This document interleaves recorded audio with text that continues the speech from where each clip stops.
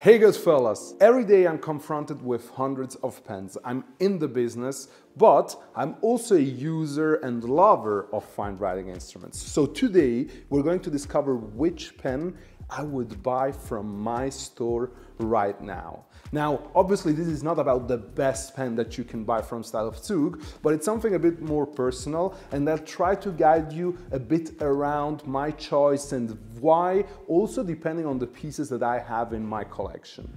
And to do that, we'll go a bit around the store together and we'll just pull out five, six pens that I think are truly cool for me personally and then we're gonna define which one is going to be my next writing instrument. Let's do that together. So let's start checking out all windows.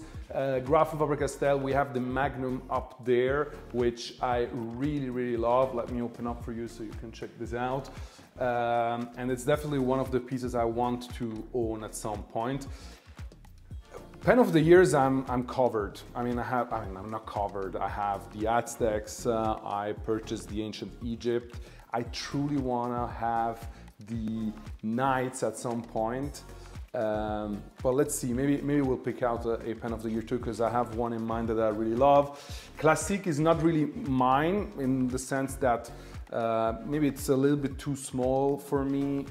I love the model, it's very well done, but I don't think I'm gonna add this one to my collection. I already have perfect pencils. And over here we have the very cool Guilloche line. Check this out, colorful, but definitely not for me. So uh, nothing from Graf here, but the store is still big enough to check out a few things. So here we have quite a few things that, uh, I mean, you know I love the Glacier, but I don't know, it's not, uh, my heart is not beating right now for it like right now right now it's this is, would be like a kind of emotional uh, kind of purchase Palladium, I, I, cannot take this away from my customers, so that's also one thing. I cannot buy whatever my customers are gonna buy. And this one are a bit over the top.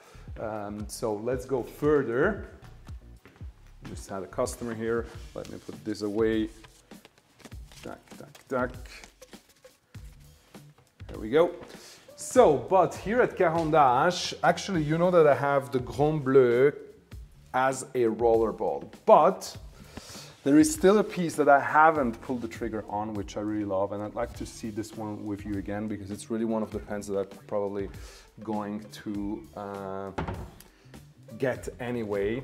Well, let's see if it's gonna be today the piece I'm going to get. So I'm gonna put it here. The good thing is we have this leather pad, so the pens don't get um, uh, they, don't get like uh, damaged or so. Then uh, here we have Amber of Graf von Faber-Castell. L'Aubrac is a bit over the top, I love it. I am uh, good with the Sailor because look what I'm using here. I'm using my Hiro Miyabi, which I love, which there is, the brother is right here waiting to be picked up by one of you guys. This is the one I was telling you, the Knights. I, I really looking forward to own this one at some point. I love the Damascus steel and then the waved guilloche on the cap. Vasily Kandinsky is a bit too much. Oh, look at this James Dean seal that we have. Very cool. Love it. Love it. But, but, but, but, but. This one I already have, the Dolce Vita, fine nib, beautiful. This one, no, they're sets, I mean, amazing deals, but no, not the Dupont. Sailor, I said I'm, I'm okay right now. I mean, Pelikan is, is like, I, I don't really have a Pelikan. Can you imagine that? Like, I, I sell Pelikans, I love Pelikans, they're great writing, uh, writers, but I don't, I don't have a Pelikan. And that would definitely be one of the pieces that I should consider as adding to, adding to my collection. Uh, but, but I simply don't know. Maybe the green demonstrator, extra fine, I'll think about that. But what I see here that I'd like to pull out, so most people have the Emperor or the uh, number 20, or number 20 or number 50, whether it's with maki-e or without. But what I'd like to consider, which almost no one has, is this Namiki Aya which has a very nice shape. It's big, it's maki-e, it has the Raiden on it. Uh, wonderful, wonderful writing instrument. So we have the second one. Oh God, what else are we gonna pick? So, oh, there is something I missed here. There is something I missed here which I actually would really love to have for myself, for my collection as an everyday writer. And I'm talking about Scribo. And Scribo Feel has done this wonderful new model here. Check this out. And what I love is the writing experience you get. Now this is a medium nib. Let's, we're gonna try this one out. Then, uh, oh, there is another one that comes to my mind, which I really want to consider for myself. Come with me.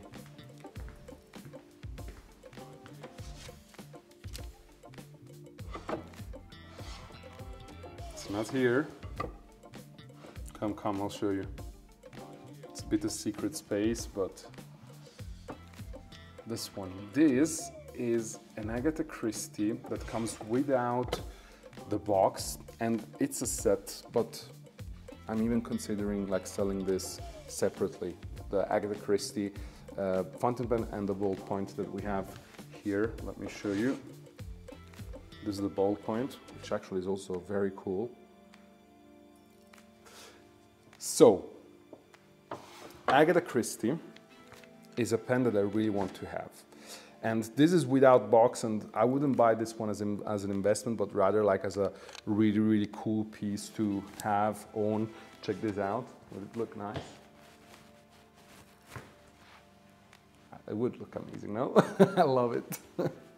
so, it's another piece we're gonna consider, and we're at four here. Now, one more piece I'd like to consider is an Otto that I don't have. And you guys know that I love Otto I love my Design 08. It's right here. I have a Design C, which actually is in my bag, in my backpack, my Montblanc backpack. But I don't have a Design 07. And even if the Design 07 old back is absolutely cool and very, how to say, super sleek in terms of design and understated, there is one that I really love because of the beautiful guilloche that it has on, on, on the barrel. And it's in 925 sterling silver. You know, silver is going up and up and up. So whenever you get the chance to have your hands on a silver writing instrument, you should actually consider it. Look at this Corn guilloche, this Design 07. This might be the piece that I also consider getting. Uh, I am a, an Otto Hutt aficionado, so it is kind of part of of, of my heritage. So we're gonna uh, test, you know what, we can test them all. We can test them all and we're gonna do this together. And for that, I'm gonna take this notebook here of Hahnemühle, uh, which is, uh, has a very nice paper uh, for, for fountain pen, you see made in Germany. They're famous for doing some awesome paper. Even if one of the notebooks that I use to write down all the quotes and so uh, is um, the Smythson one. But this is a very nice daily notebook for projects and whatever I have to write down during um, the um, during business meetings. So let's them let's them. So let them let, let me try this out together. Let's discover their performance and see which one I would actually go for here from my store. It's a nice selection, I think. We have a Swiss, we have a Japanese, we have a German, German, and Italian. So it's a nice mix. Just as I like it, because I think that the peculiarity, the beauty of fine writing instrument is the fact that you have the chance to own different kind of writing instrument uh, at once. So different kind of manufacturers, different kind of, of, of countries. So each country brings its own uh, concept and way of thinking the product, way of conceptualizing the products. And to test them out, we're going to dip them in this deep sea green ink. Now, listen, it could be that one or the other has already been dipped maybe with a black uh, ink. We always clean them out, but there might always be little particles of, of, of inks remaining, so it might not really show the actual color.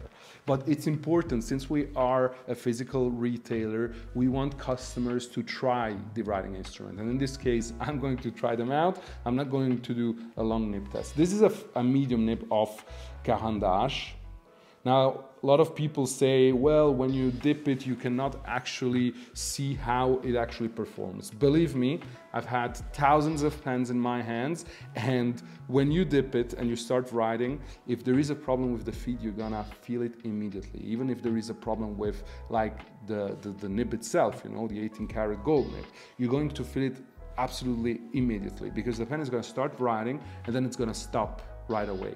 And usually when this doesn't happen when we do this kind of test, it's also, it's also not gonna happen when you fill them up using the piston or the converter. So, number one,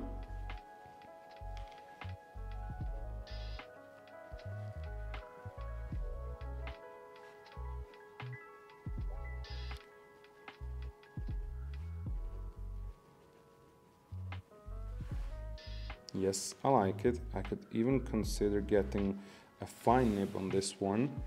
Um, it's a bit thin on the grip section personally, but um, no, I love it. I mean, when I look at this color and then when I look at this guilloche, when I close it down, I mean, we're really talking about an absolute masterpiece here, Goodfellas. I love. So this pen, I'm probably gonna get either way, but let's see if it's the piece that I'm gonna commit to today. Then, Namiki Aya wonderful writing instrument with a big, beautiful, nice nib 18 karat the same kind of nib that can be found on the custom urushi now i think that this pen would be absolutely powerful.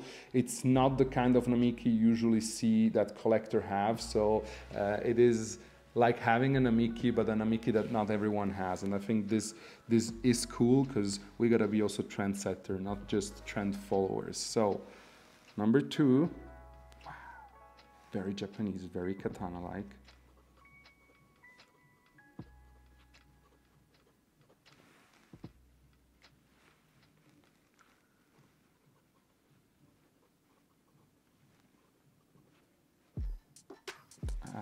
I, I love this writing experience.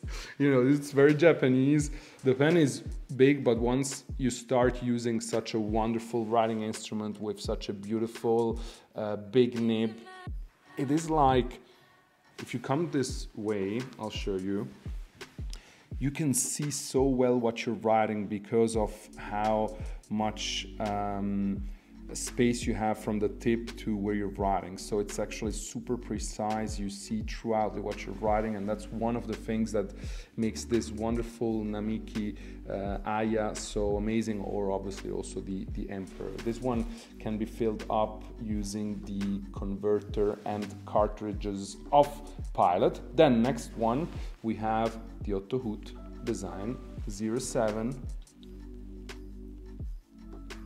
wonderful writing instrument, two-tone 18 karat gold nib, medium.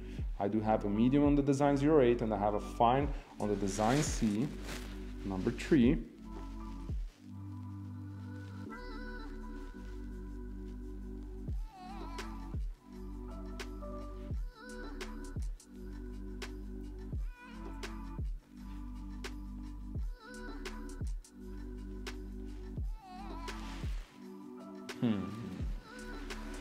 I know this writing sensation. I know it. I know it because I own it already on two other writing instruments. I love this writing instrument. I love the Corn Guilloche. I think I prefer the Corn Guilloche uh, all silver, but obviously the Corn Guilloche in uh, gold, maybe you can show it real quick so that the viewers can have this comparison. I mean, the gold silver one also has this charm. This gold gives this kind of um, warm to, to, to, to this very metallic writing instrument. So, but I think, I think I will go for the silver one. Then, Montblanc Agatha Christie. Now we're gonna dip this one up because it doesn't, it's not like a, it is brand new, so you see there is no ink in, in, the, um, uh, in the body, in the barrel but it's not one that is like full set and so on. So it's more of a daily carry. It's also a good deal to be honest. So let's see, medium nib, 18 karat.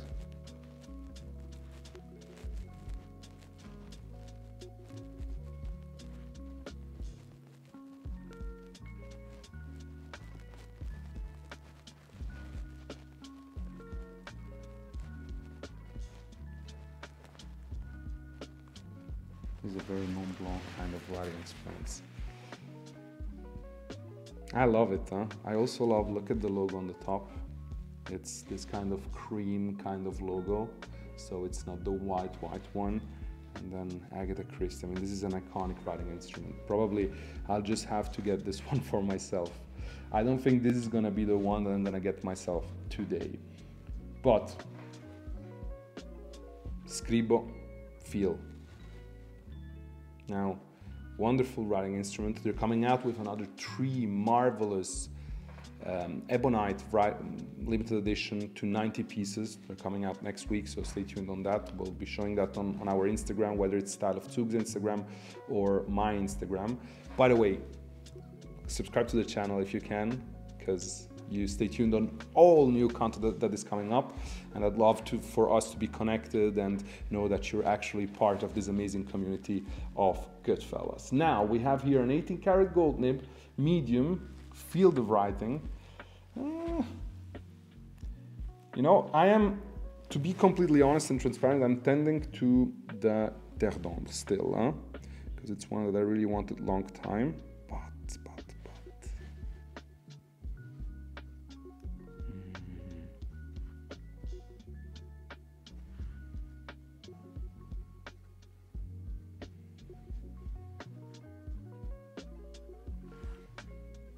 So guys, let's make it pretty short. It's gonna be the Scribo or the Caran d'Ache Leman d'Ombre. So let's discover a bit the writing feeling here.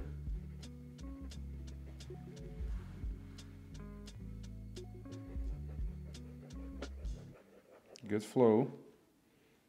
Signature test. Longer signature. This is quite a fine kind of medium nib.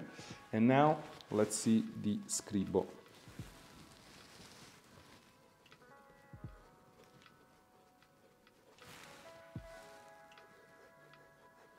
Uh, what I love about this scribo is really the kind of how you hear what you're writing.